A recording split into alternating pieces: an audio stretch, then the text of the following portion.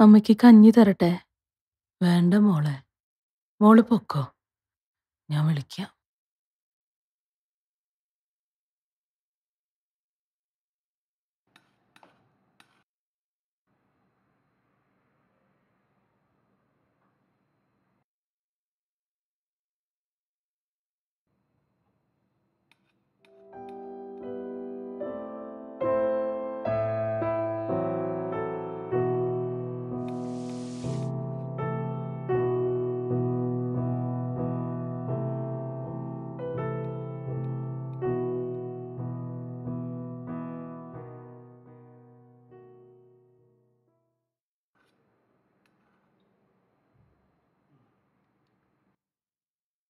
പരിപാടി ഒന്ന് നിർത്തിക്കൂടെ? മനസ്സിലായില്ല. അല്ല ഈ നിലത്തിരുന്ന് ഭക്ഷണം കഴിക്കുന്നത്? ഞാനൊരു പാവപ്പെട്ട വീട്ടിൽ നിന്ന് വന്നതാന്നുള്ള കാര്യം ചിലപ്പോഴൊക്കെ മറക്കും. അങ്ങനെ മറക്കാതിരിക്കാനാ ഇങ്ങനെ ചെയ്യുന്നത്. ഇതിനൊരു അവസാനമുണ്ടോ? അവസാനമുണ്ട്. നിങ്ങൾ മരിക്കുമ്പോൾ ദൈവമുണ്ടെന്ന് ഞാൻ പൂർണമായി വിശ്വസിക്കുന്നത് നിങ്ങളുടെ മരണത്തോടെയായിരിക്കും മനസ്സിലായില്ല. നിങ്ങളുടെ കാലൊക്കെ പഴുത്ത് ചീഞ്ഞ് ഒരു അതിദാരുണമായ മരണം അതേ നിങ്ങൾക്ക് ദൈവം തരൂ എന്ന് ഞാൻ വിശ്വസിക്കുന്നു. മറിച്ചായാൽ ദൈവത്തിലുള്ള എന്റെ വിശ്വാസം അതോടെ അവസാനിക്കും.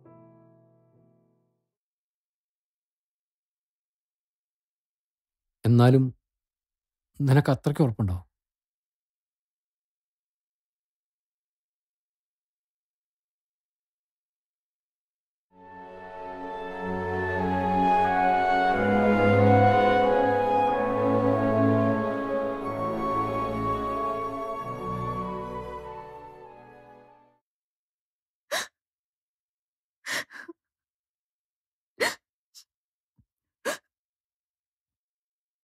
എനിക്ക് വിധേയായി ജീവിക്കണം. മനസ്സിലായോ?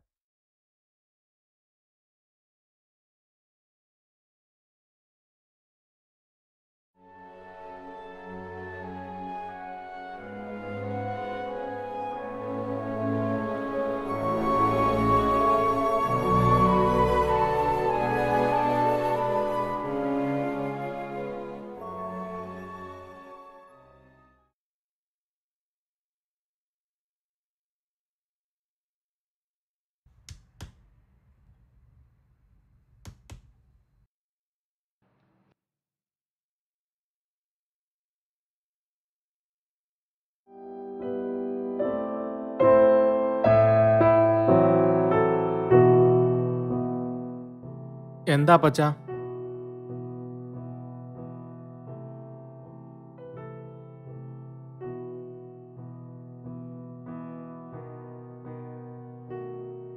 മോനെ ഒരു കാര്യം സംസാരിക്കാനുണ്ട്.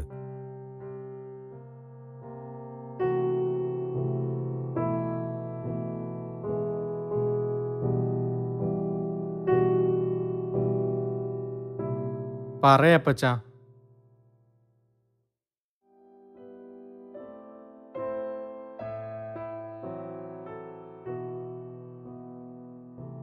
ഒന്നുമില്ല. അമ്മ പറഞ്ഞേ അപ്പച്ചൻ കൊഴുത്ത് നരകിച്ചേ ചാവൂന്ന്. നിനക്കെന്താ തോന്നുന്നത്?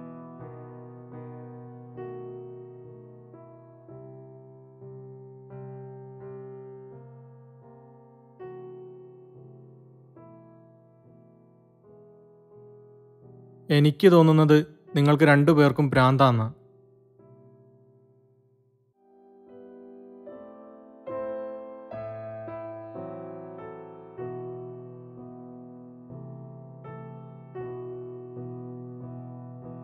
ഭ്രാന്തായിക്കോട്ടെ. എന്നാലും നിനക്ക് തോന്നണത് പറ.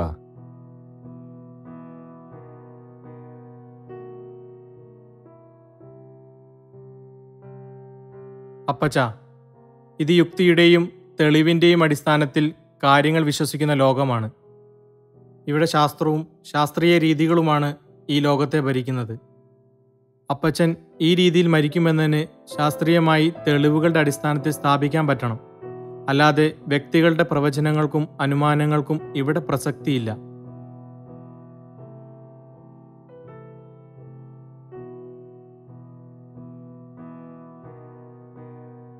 നീ ഒന്നിരുന്ന് ആലോചിക്കേ. എന്നിട്ട് പറഞ്ഞാൽ മതി.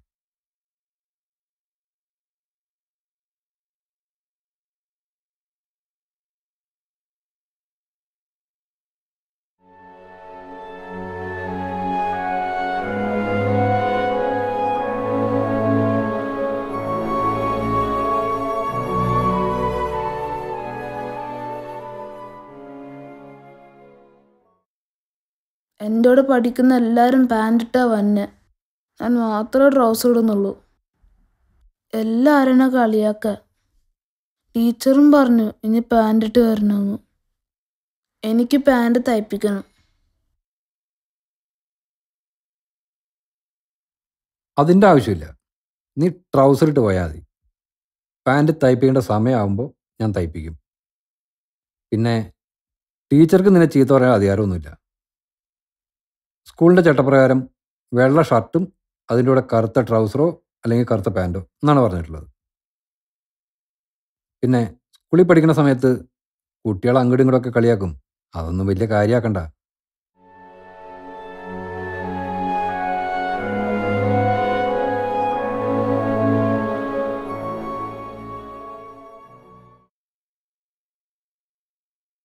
അമ്മേ മാഗി പറയാണേ ഞാൻ പുഴുത്ത് ചീഞ്ഞ ചാവുള്ളൂ. എന്താ അമ്മയുടെ അഭിപ്രായം?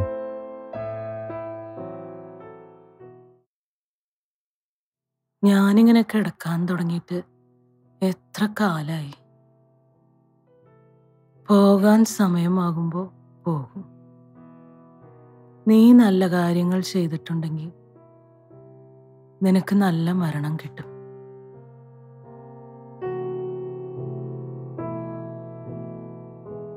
ഞാൻ അവൾ പറഞ്ഞ മാതിരി ചാവോ? ചാവില്ലേ? അമ്മ അത് പറ. എനിക്കറിയില്ല. അമ്മ ചിന്തിച്ചിട്ട് പറഞ്ഞാൽ മതി.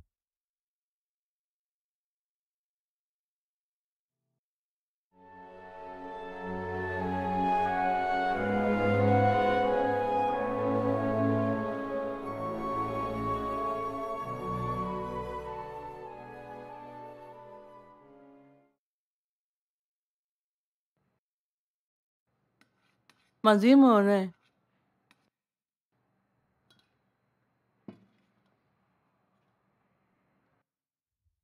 മോനെ എന്നും കഞ്ഞിയും ചമ്മന്തിയും തിന്ന് അമ്മ മടുത്തു. നീ ഇത്തിരി മീനും ഇറച്ചിയും മേടിച്ചതാടാ. അമ്മേ ഇവിടെ മീനും ഇറച്ചി ഉണ്ടാക്കണമുണ്ട് ഞങ്ങളെല്ലാം കഴിക്കണമുണ്ട് പക്ഷെ അമ്മയ്ക്ക് തരില്ല. അതിനൊരു കാരണമുണ്ട്. അമ്മ ചോദിക്ക്. ഞാൻ പറയാം. നീ പറഞ്ഞോ.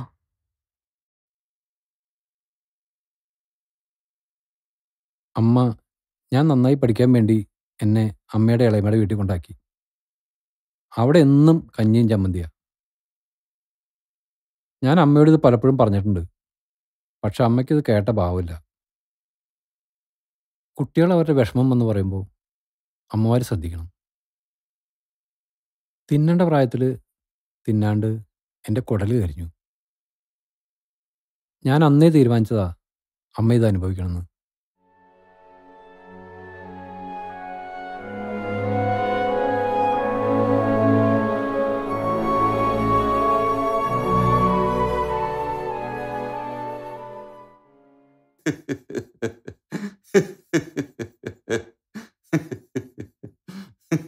മാഗി നിന്നോട് അങ്ങനെ പറഞ്ഞോ എടാ നിന്നെ എനിക്കറിയില്ലേ. നീ അത്രയ്ക്ക് നല്ലവനൊന്നുമല്ല. പിന്നെ ആ സമയത്ത് അവൾക്ക് അങ്ങനെ പറയാൻ തോന്നി. അതത്രയ്ക്ക് ഗൗരവമായിട്ട് എടുക്കണ്ട നീ.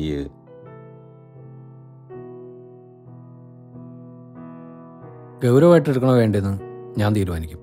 നീ വലിയ തത്വചിന്തക്കാരനല്ലേ. നിന്റെ തത്വശാസ്ത്രം കൂടി ഒന്ന് കേൾക്കാമെന്ന് വിചാരിച്ചു.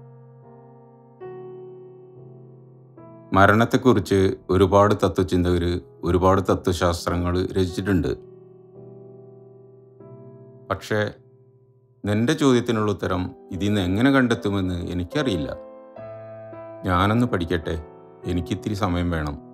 പിന്നെ തത്വചിന്തകരെക്കാളും ബൃഹത്തായ ആശയങ്ങൾ കയ്യിലുള്ളവനല്ലേ നീയേ?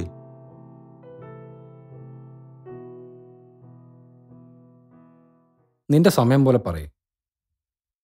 வாடா வா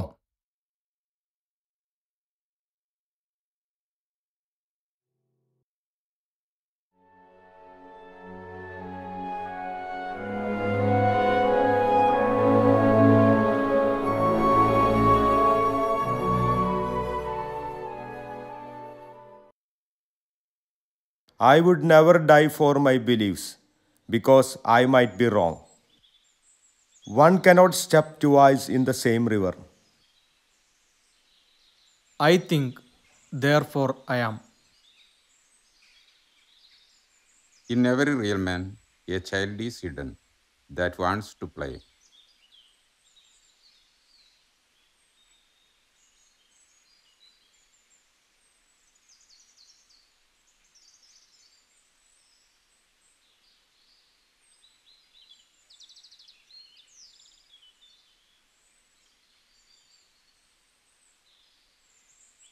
കൃഷ്ണന്റെ കൂട്ടുകാരന് ബോറടിക്കുന്നുണ്ടോ? ഞങ്ങൾ തത്വചിന്തക്കാർ ഒത്തുകൂടുമ്പോൾ കുറച്ച് തത്വചിന്തയൊക്കെ പറയും. ഒരു രസം. കൂട്ടുകാരനും കൂടാം. അതിന് കയ്യിൽ വലൊന്നും വേണ്ടേ?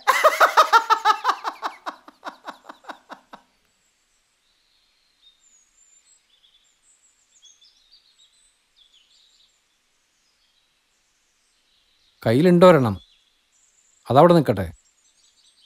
ആദ്യം കയ്യിൽ നിന്ന് മോന്തക്കുറ്റിക്ക് ഒരെണ്ണം തരട്ടെ?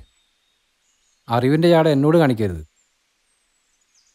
കയ്യിൽ ഒന്നേ ഉള്ളൂ. അത് മതി ജീവിതാവസാനം വരെ.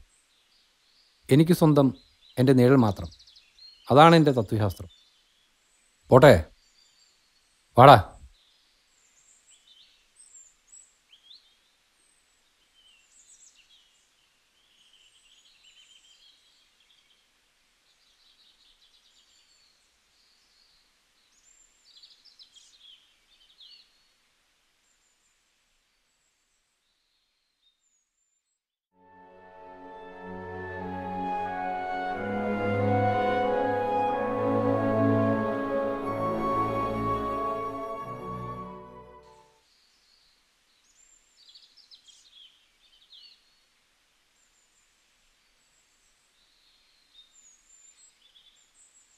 നിന്റെ ഭാര്യ നിന്നോട് ഇതുപോലെ വല്ലതും പറയാറുണ്ടോ? എന്നോടൊന്നും അവൾ അങ്ങനെ പറയാറില്ല സാറേ. പിന്നെ സാറേ ചേച്ചി അപ്പോഴത്തെ ദേഷ്യത്തിന് അങ്ങനെ പറഞ്ഞതാവും. ഇതിൽ വലിയ കാര്യമൊന്നുമില്ല സാറേ. ജനിച്ചാൽ ഒരു ദിവസം മരിക്കും. നമ്മളെങ്ങനെ മരിക്കുമെന്ന് ആർക്കും പറയാൻ പറ്റില്ല. ഇവരെയൊക്കെ തോൽപ്പിക്കണമെങ്കിൽ നമ്മൾ ആത്മഹത്യ ചെയ്യണം. അങ്ങനെ നമ്മുടെ മരണം നമ്മളെ തന്നെ തീരുമാനിക്കും. അത്രയേ ഉള്ളൂ. ഈ ലോകത്ത് എന്തിനുള്ള സ്വാതന്ത്ര്യം നമുക്കുണ്ട്?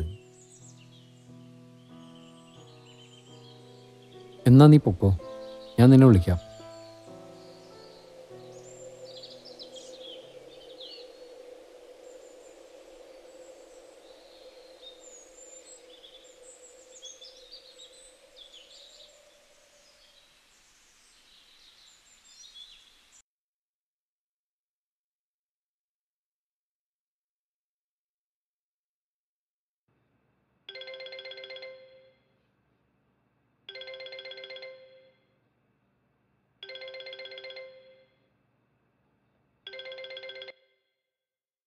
ഹലോ സാറേ. ആ സാറേ. ഓക്കെ സാറേ ഞാൻ വരാം.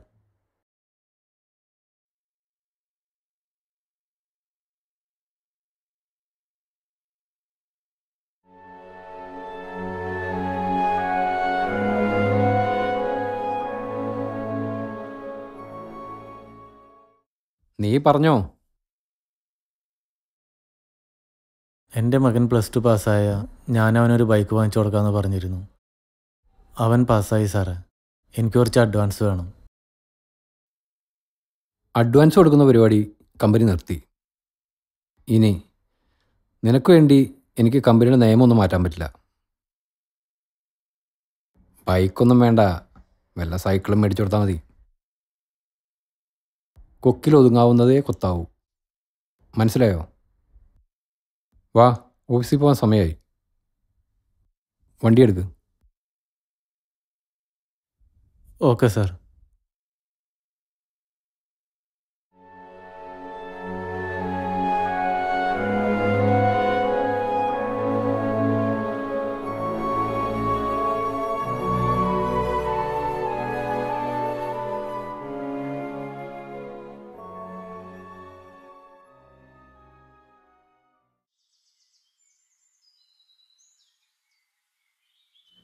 കർമ്മനിരതനായി ഈ ഭൂമിയിൽ നിലനിൽക്കുക എന്നതാണ് പ്രധാനം. എങ്കിലും കുറച്ചറിവുകൾ നേടണമെന്ന് തോന്നുന്നു. പുഴുത്തു നരകിച്ചേ ചാവൂ എന്നവൾ പറഞ്ഞപ്പോൾ മുതൽ തുടങ്ങിയതാണ് ഈ ചിന്ത.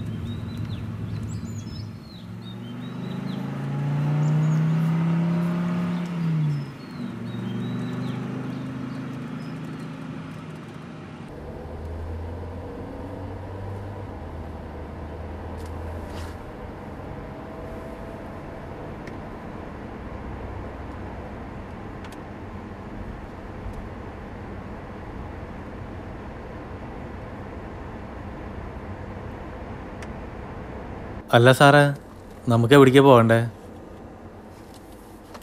അങ്ങനെ പ്രത്യേകിച്ച് സ്ഥലമൊന്നുമില്ല.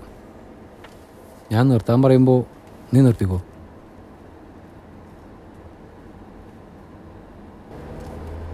എന്താണ് ഈ യാത്രയുടെ ഉദ്ദേശം? അങ്ങനെ പ്രത്യേകിച്ചൊരു ഉദ്ദേശമൊന്നുമില്ല.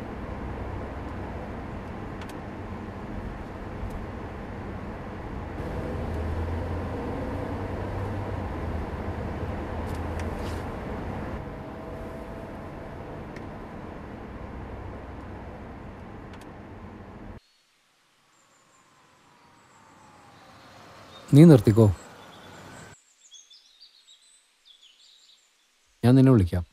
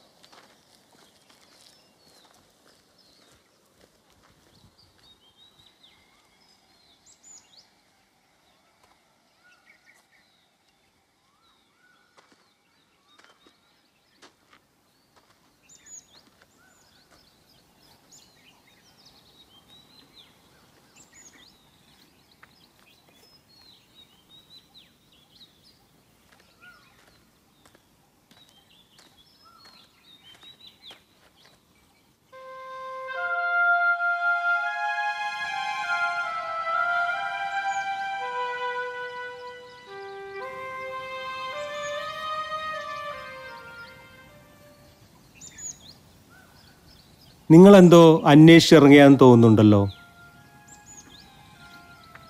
അതെ ഞാൻ അറിവന്വേഷിച്ചിറങ്ങിയതാണ്. ഇപ്പോഴാണോ അറിവ് അന്വേഷിച്ചിറങ്ങുന്നത് അതിന് വല്ല കാരണമുണ്ടോ? ഇന്നലെ എന്റെ ഭാര്യ പറഞ്ഞു എന്റെ കാലൊക്കെ പഴുത്ത് നരയിച്ചേ ചാവുന്നു. അതുമാത്രമല്ല എന്റെ മരണശേഷം മാത്രമേ അവൾ ദൈവത്തിൽ വിശ്വസിക്കുന്നു. അപ്പോൾ മുതൽ ഞാൻ അറിവന്വേഷിക്കുകയാണ് എന്റെ പരിമിതമായ അറിവ് ഞാൻ നിങ്ങൾക്ക് പറഞ്ഞു തരാം.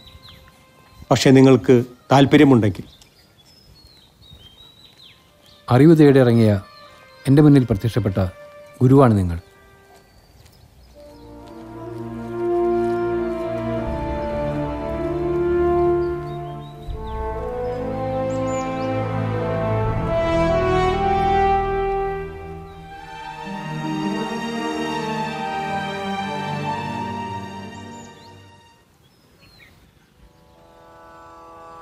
അറിവിന്റെ ഉദ്ദേശം സത്യത്തെ കണ്ടെത്തുക എന്നുള്ളതാണ്. അറിവുകൾ അടിച്ചേൽപ്പിക്കുകയല്ല മറിച്ച് പകർന്നു നൽകുകയാണ് ചെയ്യേണ്ടത്. പകർന്നു കിട്ടിയ അറിവിൽ നിന്ന് സത്യത്തെ കണ്ടെത്തി സ്വയം സ്വതന്ത്രനാവുക.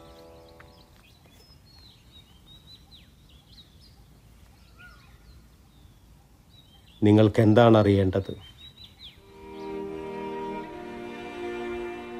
സാമാന്യം ഭേദപ്പെട്ട കുടുംബത്തിലാണ് ഞാൻ ജനിച്ചത്. അപ്പന്റെ മരണത്തോടെ കുടുംബത്തെ സംരക്ഷിക്കേണ്ട ഉത്തരവാദിത്വം മൂത്ത മകനായ എന്നിലായി. പിന്നെ അങ്ങോട്ടൊരു വെട്ടിപ്പിടുത്തമായിരുന്നു. താഴാദികളെല്ലാവരെയും ഒരു നല്ല നിലയിലെത്തിച്ചു. എനിക്കും ഒരു കുടുംബമുണ്ടായി ജോലിക്ക് പോയില്ലെങ്കിലും ജീവിക്കാനുള്ള മാർഗമുണ്ട്. ചെയ്യാവുന്ന എല്ലാ കാര്യങ്ങളും ചെയ്തിട്ടും ഭാര്യ ഒരു അസാധാരണ മരണം വിധിച്ചപ്പോൾ അറിവ് നേടണമെന്ന് തോന്നി.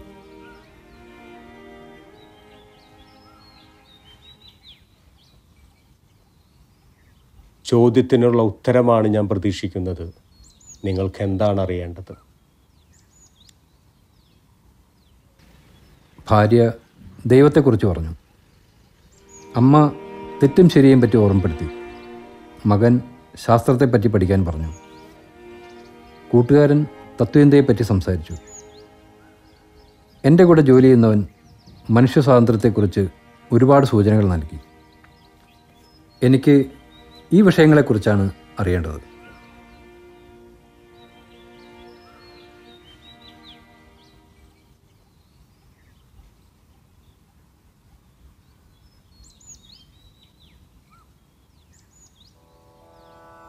അറിവും യാഥാർത്ഥ്യവും ചേരുന്നതാണ് സത്യം. അറിവിന്റെ ഉറവിടങ്ങളെപ്പറ്റി മനസ്സിലാക്കുകയാണ് ആദ്യം വേണ്ടത്. അത് ഇപ്രകാരമാണ്. ദൈവം മനുഷ്യന് വെളിപ്പെടുത്തിയ അറിവുകൾ. പ്രപഞ്ചത്തിൽ എന്നും നിലനിൽക്കുന്ന അറിവാണിത്. അതുപോലെ ഒരാളിന്റെ ഉള്ളിൽ പെട്ടെന്ന് ജനിക്കുന്ന അറിവുകൾ ഉൾവിളികൾ എന്നിവ. അസാധാരണ മരണം ഭാര്യ പ്രവചിച്ചപ്പോൾ അറിവ് നേടണമെന്നത് നിങ്ങളുടെ ഉൾവിളിയാണ്. മറ്റൊന്ന് പഞ്ചേന്ദ്രിയ അനുഭവങ്ങളിലൂടെ നേടുന്ന അറിവുകൾ. വേറൊന്ന് കാര്യകാരണ സഹിതം തെളിയിക്കാൻ പറ്റുന്ന അറിവുകൾ. അവസാനമായി അതാത് മേഖലയിലെ പ്രഗത്ഭരിൽ നിന്നോ പുസ്തകങ്ങളിൽ നിന്നോ അധ്യാപകരിൽ നിന്നോ രക്ഷിതാക്കളിൽ നിന്നോ നേടുന്ന അറിവുകൾ. ഞാനിതിൽ ഉൾപ്പെടില്ലെങ്കിലും ഞാൻ നിങ്ങൾക്ക് പകർന്നു നൽകുന്ന പരിമിതമായ അറിവും ഇതിനുദാഹരണമാണ്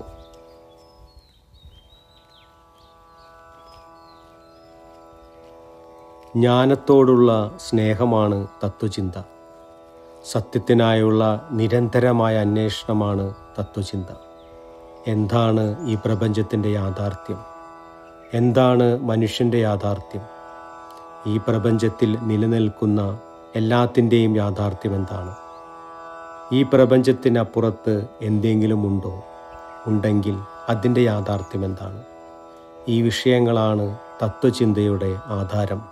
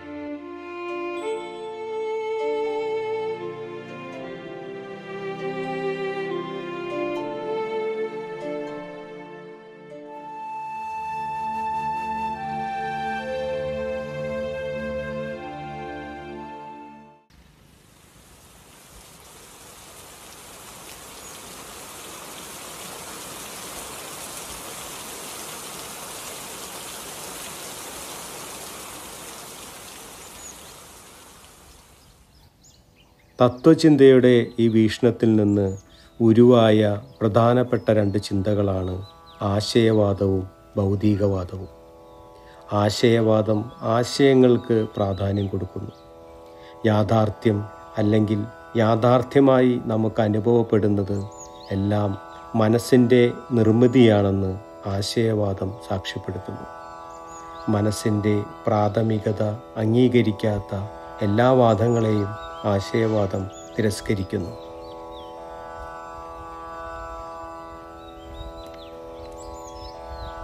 ഭൗതികവാദം ഭൗതികതയ്ക്ക് പ്രാധാന്യം കൽപ്പിക്കുന്നു. എല്ലാ വസ്തുക്കളും നിർമ്മിക്കപ്പെട്ടിരിക്കുന്നത് ഭൗതിക പദാർത്ഥങ്ങളാലാണെന്നും നാം അറിയുന്ന എല്ലാ പ്രവർത്തനങ്ങളും ഭൗതിക പദാർത്ഥങ്ങളുടെ പരസ്പര ഇടപെടലിന്റെ ഫലങ്ങളാണെന്നുമാണ് ഭൗതികവാദം സാക്ഷ്യപ്പെടുത്തുന്നത്. നിലനിൽക്കുന്നുവെന്ന് ഉറപ്പിച്ചു പറയാവുന്നത് ഭൗതിക പദാർത്ഥങ്ങൾ മാത്രമാണെന്ന് ഇവിടെ ചൂണ്ടിക്കാണിക്കുന്നു. മനുഷ്യന്റെ വ്യക്തിത്വത്തിനും അവന്റെ സ്വതന്ത്ര ഇച്ഛയ്ക്കും പ്രാധാന്യം കൽപ്പിക്കുന്ന ചിന്തയാണ് അസ്തിത്വവാദം. ഒന്നും തന്നെ മുൻകൂട്ടി നിശ്ചയിക്കപ്പെട്ടിട്ടില്ലെന്നും തന്റെ ഇച്ഛാശക്തി അനുസരിച്ച് മനുഷ്യനെ സ്വന്തം വിധി രൂപപ്പെടുത്താൻ കഴിയുമെന്ന് അസ്തിത്വവാദം പറയുന്നു. മനുഷ്യൻ സ്വതന്ത്രനും അവന്റെ ഓരോ പ്രവൃത്തിക്കും അവൻ സ്വയം ഉത്തരവാദിയാണെന്നും പറയുന്നു. ജീവിതത്തിന്റെ അന്തർലീനമായ മൂല്യവും അർത്ഥവും തേടാനുള്ള മനുഷ്യന്റെ പ്രവണതയും ലക്ഷ്യമില്ലാത്തതും അർത്ഥരഹിതവുമായ പ്രപഞ്ചത്തിൽ അങ്ങനെ എന്തെങ്കിലും കണ്ടെത്താനുള്ള മനുഷ്യന്റെ കഴിവില്ലായ്മയെയും അങ്ങനെ അന്വേഷിക്കുന്നത് അയുക്തമാണെന്നും ഈ വാദം പറയുന്നു.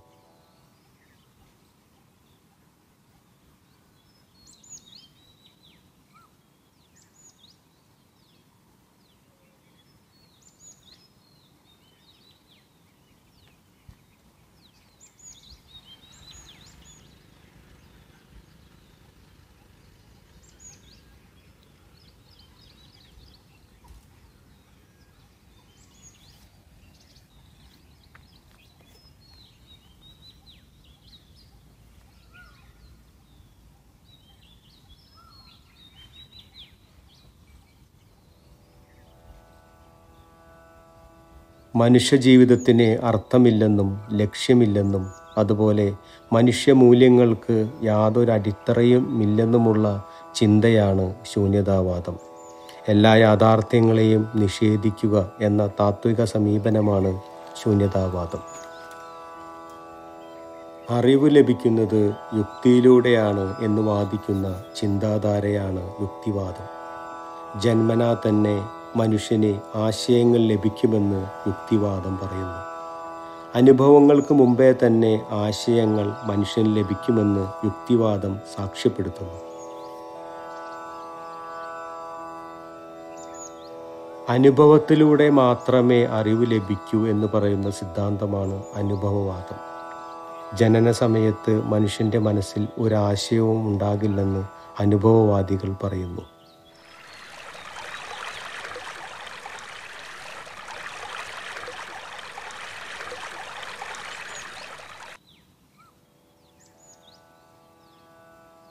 പ്രപഞ്ചത്തെ പറ്റിയുള്ള അറിവ് സ്വരുക്കൂട്ടുകയും പരീക്ഷിച്ചു നോക്കാവുന്ന വിശദീകരണങ്ങളായും പ്രവചനങ്ങളായും ക്രമീകരിക്കുകയും ചെയ്യുന്ന ഒരു പ്രസ്ഥാനമാണ് ശാസ്ത്രം. ശാസ്ത്രം ഉപയോഗപദത്തിൽ കൊണ്ടുവരുന്ന ആളെ ശാസ്ത്രജ്ഞൻ എന്ന് വിളിക്കുന്നു. ശാസ്ത്ര രീതികൾ അവലംബിക്കുന്നത് ഇപ്രകാരമാണ്. പ്രപഞ്ചത്തിലുള്ള ഒന്നിനെ നിരീക്ഷിക്കുകയും അതിൽ നിന്ന് ചോദ്യങ്ങൾ ഉന്നയിക്കുകയും ചെയ്യുന്നു. തുടർന്ന് ഗവേഷണത്തിലേക്ക് കടക്കുന്നു. ഗവേഷണത്തിൽ നിന്ന് കണ്ടെത്തിയ വസ്തുതകളുടെ വിശദീകരണമാണ് പരികൽപ്പന. പരികൽപ്പന ബുദ്ധിപരമായ ഊഹമാണ്. അതിനുശേഷം പരീക്ഷണത്തിലേക്ക് കടക്കുന്നു. പരീക്ഷണത്തിൽ നിന്ന് സിദ്ധാന്തം രൂപപ്പെടുത്തുന്നു. പൂർണമായും തെളിയിക്കപ്പെടാൻ പറ്റുന്ന ഒന്നാകുമ്പോൾ അതൊരു ശാസ്ത്ര നിയമമാകുന്നു. എല്ലാ നിരീക്ഷണങ്ങളും ചോദ്യങ്ങളും പരികൽപ്പനകളും പരീക്ഷണങ്ങളും സിദ്ധാന്തങ്ങളും ഒരു ശാസ്ത്ര നിയമമായി മാറണമെന്ന് നിർബന്ധമില്ല.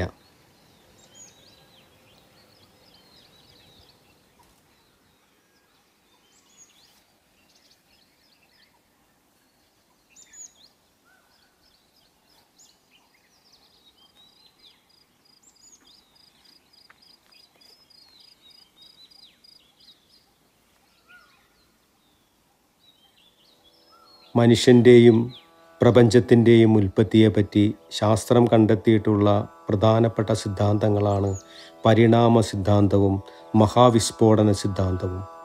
പരിണാമ സിദ്ധാന്തമനുസരിച്ച് ജീവിവർഗങ്ങളെല്ലാം പുതുപൂർവികന്മാരിൽ നിന്ന് കാലക്രമത്തിൽ പ്രകൃതി നിർദ്ധാരണമെന്ന പ്രക്രിയ വഴി രൂപപ്പെട്ടു വന്നതാണെന്ന് കണ്ടെത്തുകയും സ്ഥാപിക്കുകയും ചെയ്യുന്നു. മഹാവിസ്ഫോടന സിദ്ധാന്തമനുസരിച്ച് പ്രപഞ്ചം അത്യധികം സാന്ദ്രമായതും താപവത്തായതുമായ ഒരവസ്ഥയിൽ നിന്നും ഉടലെടുത്തു എന്നതാണ് ഈ ശാസ്ത്ര സിദ്ധാന്തത്തിന്റെ കാതൽ.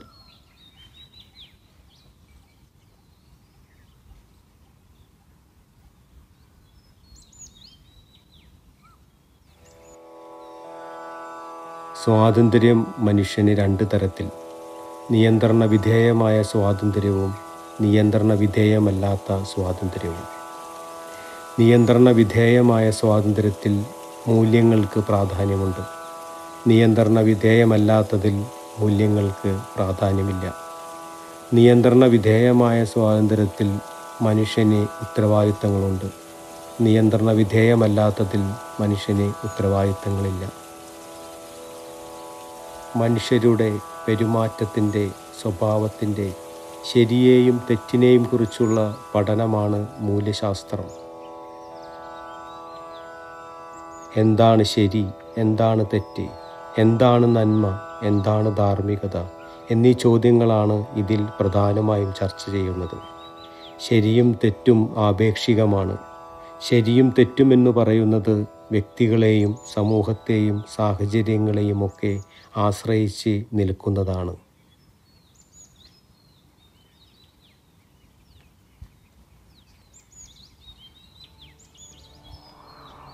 എനിക്കറിയാവുന്ന അറിവുകൾ ഞാൻ നിങ്ങൾക്ക് നൽകി കഴിഞ്ഞു. നിങ്ങൾക്കറിയേണ്ട അറിവുകളിൽ ഏതാണോ എനിക്ക് നൽകാൻ കഴിയാത്തത് അത് എനിക്ക് അതീതമാണ്. എല്ലാ അറിവുകളും നിങ്ങൾ പറഞ്ഞു തന്നു. പക്ഷേ അറിവ് നേടാൻ എന്നെ പ്രേരിപ്പിച്ച ഭാര്യയുടെ പ്രസ്താവനകളും അതിൽ പ്രധാനമായും പ്രതിപാദിച്ച ദൈവത്തെപ്പറ്റിയും നിങ്ങളൊന്നും പറഞ്ഞില്ല. ഞാൻ മുൻപേ പറഞ്ഞില്ലേ എനിക്കതീതമായ അറിവിനെക്കുറിച്ച് അറിവിനെ കുറിച്ച് പറഞ്ഞു തരാൻ എനിക്ക് കഴിയില്ല.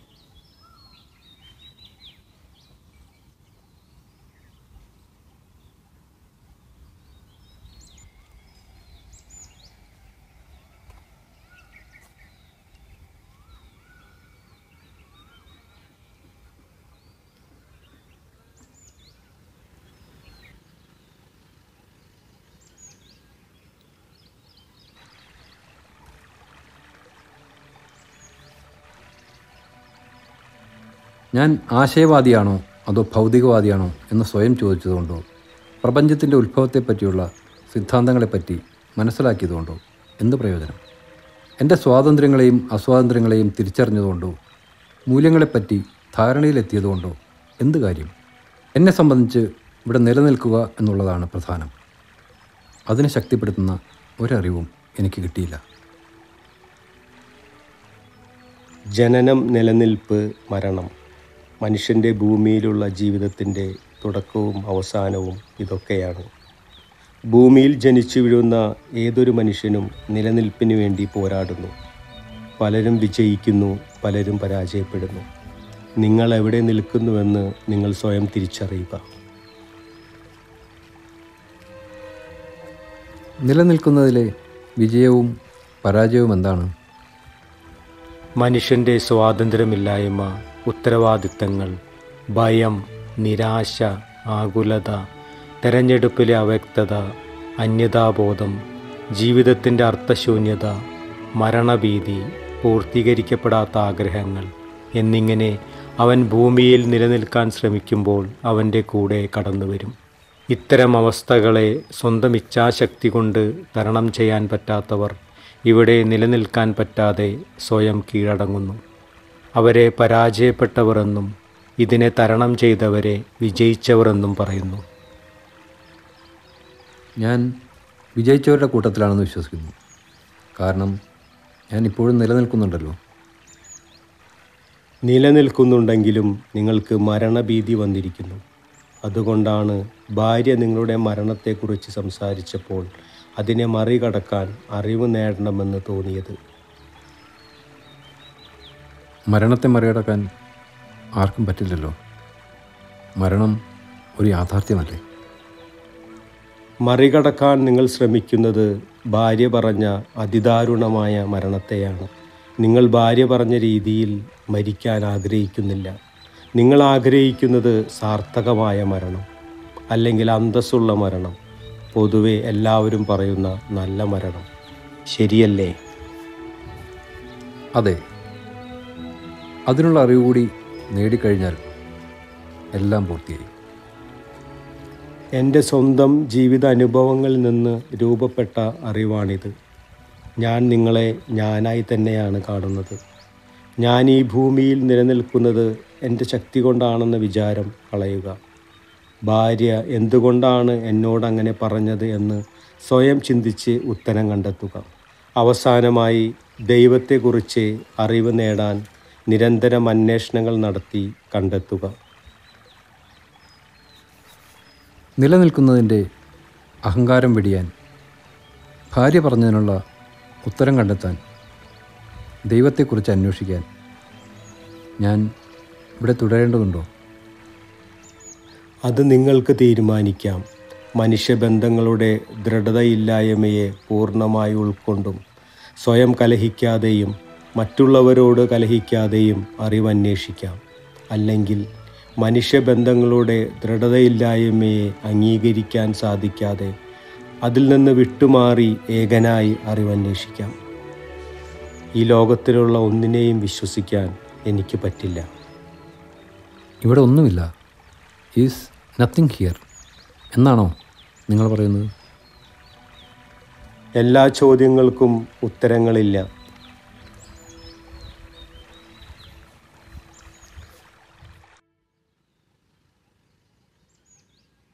ഞാൻ തിരിച്ചു പോകാൻ തീരുമാനിച്ചു. നിങ്ങൾക്കും എന്റെ കൂടെ വന്നുകൂടെ? എന്നെപ്പോലെ നിങ്ങളെയും കാത്തിരിക്കാൻ കുറച്ച് പേരുണ്ടാവില്ലേ എനിക്ക് വരാൻ കഴിയില്ല. എനിക്ക് വേണ്ടി കാത്തിരിക്കാൻ ആരുമില്ല. നിങ്ങളെ കാത്തിരിക്കുന്നവരുടെ അടുത്തേക്ക് പൊക്കോളും. ഇനി ഒരിക്കലും നമ്മൾ തമ്മിൽ കാണാൻ ഇടവരാതിരിക്കട്ടെ.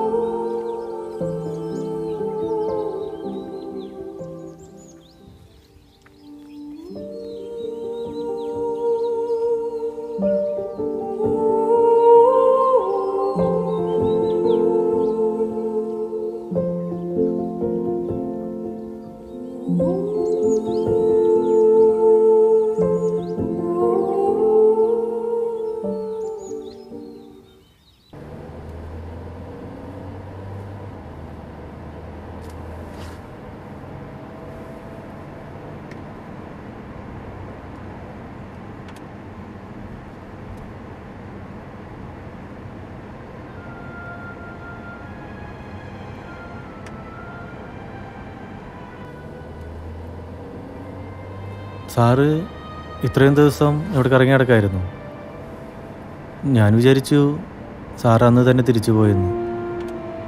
ചേച്ചിയും മോനും അമ്മയും പേടിച്ചിരിക്കുന്നുണ്ടാവും.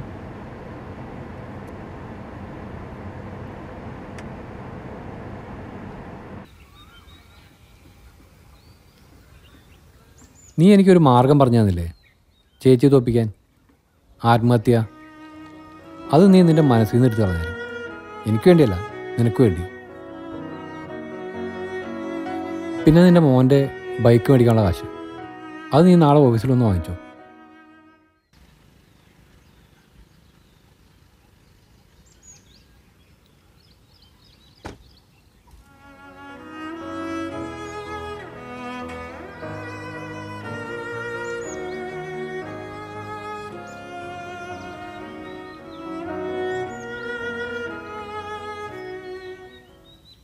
കാട്ടിൽ പോയി വന്നതിന് ശേഷം സാറ് നന്നായെന്നാണ് തോന്നണേ. അല്ലെങ്കിൽ പിന്നെ മോന് ബൈക്ക് മേടിക്കാനുള്ള കാശ് ഓഫീസിൽ വന്ന് മേടിച്ചോളാൻ പറയില്ലല്ലോ.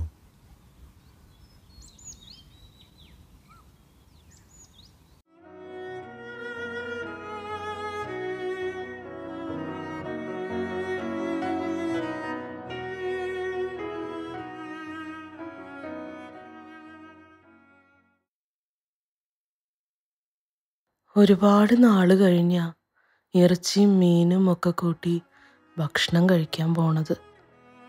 കാട്ടി പോയതോടുകൂടി എന്റെ മോൻ നന്നായി.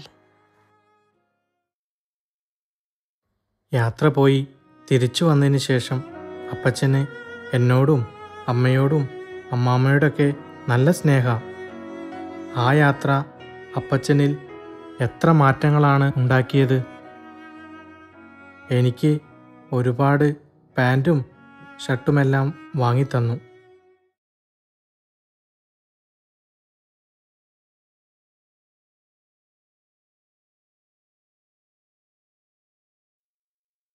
ഈ ദിവസങ്ങളിൽ എന്റെ ഭർത്താവ് എന്നെ ഒരുപാട് സ്നേഹിക്കുന്നുണ്ട്. വീട്ടിൽ നിന്ന് വിട്ടുനിന്ന ദിവസങ്ങളിൽ പഠിച്ച പാഠങ്ങളായിരിക്കും ഇതിന്റെ കാരണം. പക്ഷേ ആ മനുഷ്യൻ എന്റെ മനസ്സിൽ അടിച്ചേൽപ്പിച്ച ആന്തരിക മുറിവുകളുടെ കാഠിന്യത്തെ ഇപ്പോഴത്തെ സ്നേഹം കൊണ്ട് മായ്ച്ചു കളയാൻ എനിക്ക് പറ്റില്ല. അതുകൊണ്ട് എല്ലാം മറന്ന് എന്റെ ഭർത്താവിനെ സ്നേഹിക്കാൻ എനിക്ക് കഴിയില്ല.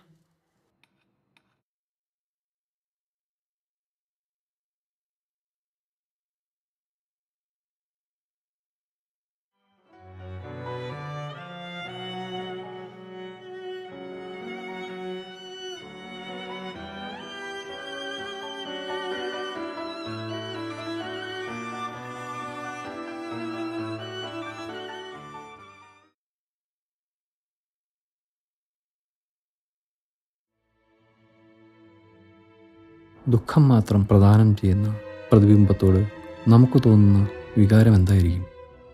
മനുഷ്യബന്ധങ്ങളുടെ നിരന്തര വ്യതിയാനങ്ങൾ ഉൾക്കൊള്ളാൻ കഴിയുന്നില്ല.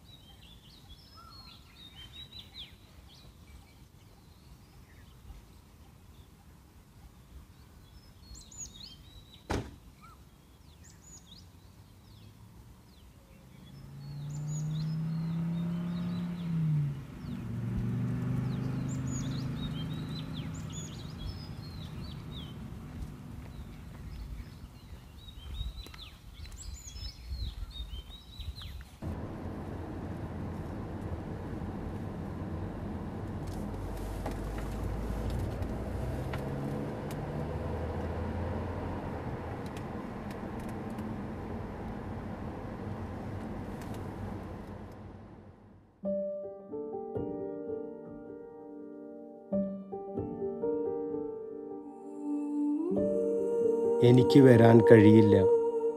എനിക്ക് വേണ്ടി കാത്തിരിക്കാൻ ആരുമില്ല. നിങ്ങളെ കാത്തിരിക്കുന്നവരുടെ അടുത്തേക്ക് പൊക്കോളും. ഇനി ഒരിക്കലും നമ്മൾ തമ്മിൽ കാണാൻ ഇടവരാതിരിക്കട്ടെ.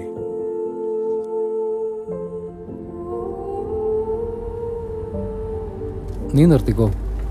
നമുക്ക് തിരിച്ചു പോവാം.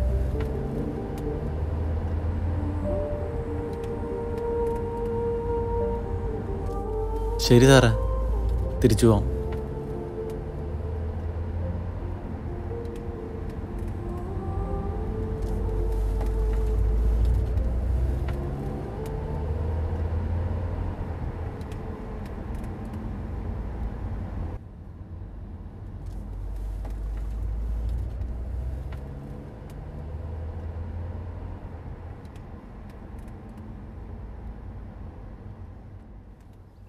സാറിന് ഭ്രാന്തായെന്നാ തോന്നണേ. ഒരു വട്ടം കാട്ടിപ്പോയി തിരിച്ചു വന്നതാ. ഇന്ന് വീണ്ടും പോവാനാ വന്നത്. പക്ഷേ വേണ്ടാന്ന് വെച്ചു. ഇനി എപ്പോഴാണാവോ വീണ്ടും പോണത്.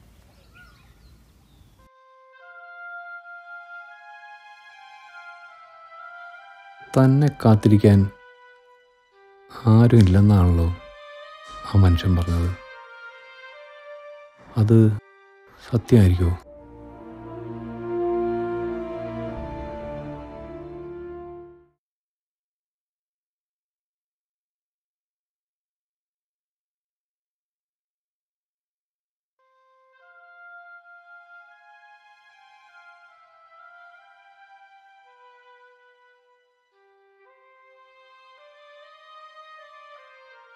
എല്ലാരും പറയണ് അമ്മ കാരണം അച്ഛൻ പോയെന്ന്.